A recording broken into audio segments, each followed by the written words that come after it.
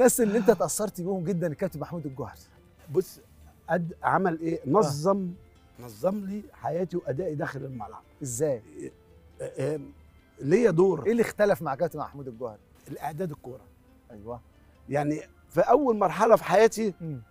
لو ت... يعني أتذكر الموضوع لما جيت أرقص ترقيصة اتخصم مني 200 جنيه آه على ترقيصة في ماتش ودي. آه. كنا بنلعب في الأولمبي في اسكندرية. وماتش ودي فرحت عامل ترقيصه ورحت مرقص بكعب كده اهو. آه.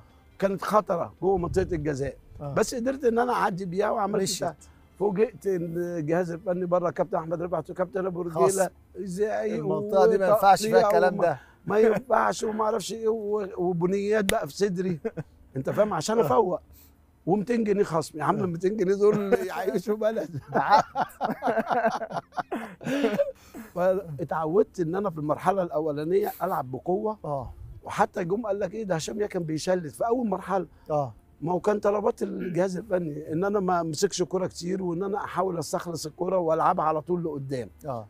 لما كابتن الجوهري جه مسك قال لي لأ قال لي استلم وسلم ال back right نص الملعب أو long pass الاثنين اللعيبة اللي بيعملوا shifting اللي آه. هو مثلا جمال وحسام في الوقت آه. ده مثلا أو آه. أيام forward موجودين لأن إحنا كنا بنلعب اثنين مهاجمين آه، قدام اثنين مهاجمين. قدام فعشان كده ده كان كابتن الجوهري لما جه أعمل كده فابتديت أنفذ حتى لو تلاحظ اللعيب السردباك الوحيد اللي كان في منتخب مصر أنا في كأس العالم المفروض إنك أنت بتاخد اتنين تلاتة احتياطي آه. مظبوط ما كانش ليا احتياطي مم.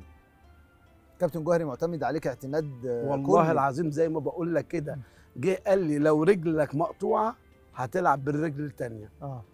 يعني قال لو اتقطعت ده في حوارات حصلت كتير جدا. ده ما ما طب أنتوا لما القرعة بقى نزلت خلاص ورحتوا كأس عالم آه، إيطاليا 90 جالي الجوهري كابتن أيوة. الجوهري ربنا يرحمه ومعاك يعني بصراحة جه بعد ال- القرعة أيوه. جالي على قال لي في المطار اتصل بيا. آه. هشام تعالى لي دلوقتي. قلت له اجيلك فين يا كابتن؟ قال لي أنا جاي من المطار حالا دلوقتي. قلت له ما أنا عارف. قال لي تعالى لي على الفندق. فرحنا اتقابلنا على فندق على النيل احدى آه. الفنادق اللي على النيل. ورحت إيه كان معاه سمير عدل آه. ورحنا قعدنا مع بعض. أول ما نزل مصر بعد القرعة ما دورش على- معانا هولندا معانا إنجلترا معانا إيرلندا. أول حاجة دور عليا أنا. آه. نزل من المطار لغاية هناك. آه. وهو كابتن آه، آه، سمير عدلي موجود. آه.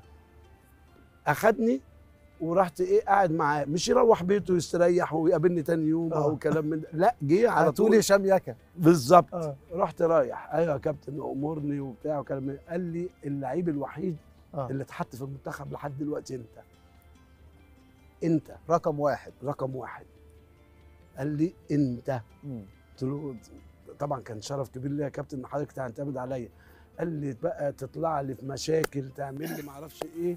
أنا عايزك تصفي دماغك وراح مطلع لي شريط بتاع فان باستن آه. ب آه، آه، ماتشاته مجمع له اللقطات بتاعته. بتاعته. آه. وجابها اتفضل ساعتك هو تقريبا الشرايط دي موجودة في أوروبا عادي يعني آه. لقطات عن كل نجم الكلام آه. ده كله. فراح مديني الشريط آه. ها وقال لي قدامك ست أشهر. تخيل بقى تحفظ فان باستن طيب، طول ما أنت قاعد. دول مش في دوري؟ آه. وفي كاس آه. وفي ماتشات أفريقية آه. وفي إعداد وأنت فاهم؟ آه. الكلام ده كله إعداد للمنتخب؟ مظبوط؟ يعني مش ممكن ست شهور بيديك الشريط وأنت خلاص أنت هتلعب. في كأس العالم يعني احفظ لي الست بقى يعني. ست ممكن ما يجيليش إصابة؟ في متغيرات ممكن تحصل طبعا. بالظبط. آه. لكن الراجل قال لي الجملة دي الله يرحمه لو كان موجود كنت هسمعها لك منه. آه. إيه إن هو يقول له الجملة دي. فطبعا كان شرف كبير جدا إنك أنت آه، آه، تستحوذ ثقة آه، آه، المدير الفني بتاعك وإنه يتقال إنك أنت كذا وإنك أنت هتقعد تلعب آه. لغاية ما توصل لهذا الرجل لأن هذا الرجل كان آه. أحسن لعيب في العالم.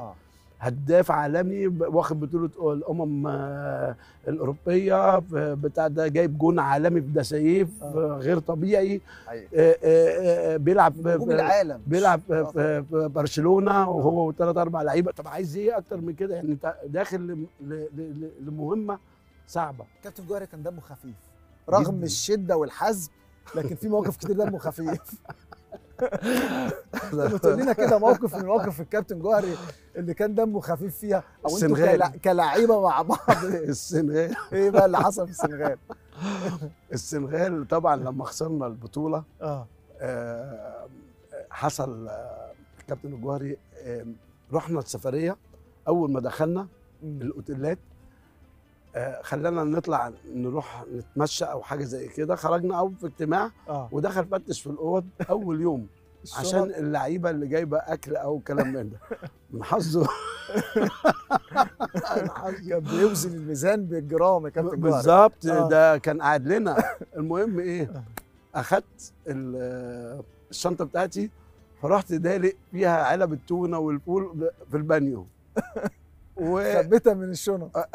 حطيتها في البانيو آه. وكان ساعتها تقريبا حاجة من الشنطه آه، زيت أو حاجة وقع كنت آه. جايب أكل لأن أنا عارف في افريقيا الأكل صعبة طبعا. صعب. ف... وبعد كده عشان تلاقي أكل في أوقات مش هتعرف تنزل ولا هتشتري. طبعا. فطبعا الحاجة الوحيدة اللي أنا كنت أجيب نفس ال- التموين بتاعي أنا وال- والمجموعة. فحطيت المعلبات من حظي رحت حاططها في البانيو. والكابتن فتحي دخل مرة على كل الأوض بقى بما فيهم اوضتي وأنا كابتن الفرقة آه. ساعتها. ف ففتح ال- البتاع ما لقاش حاجة عندي. آه. الحمد لله. قالك شباب الراجل ملتزم. اتاري اتاري خبيها في البانيو جوه. بتعوم. بتعوم في جوه صح. فكان ساعتها الحدث آه، آه، بتاع. المهم لعبنا أول ماتش زامبيا. تاني ماتش بنلعب آه، غانا آه. غانا بقى فيها أسامي تقيلة بقى عبيدي بيليه وفيها ناس آه، آه، غير آه، طبيعية يعني. أنا يعني آه، آه، خلصنا الماتش فاحنا بنلعب فيه ولد لعيب اسمه أنطوني يبوا كان لعيب محترف في ألمانيا. آه. لعيب عالمي جدا حاجة وحش المهم وإحنا بنلعب فأنا عامل له فيها صدر كده وبتاع وهو طبعا رقبته واخدة صدري. المهم إيه قاعدين بنخبط في بعض ما عجب أنا ما عجبتوش لأن قاعد بخبط فيه ومرزعه.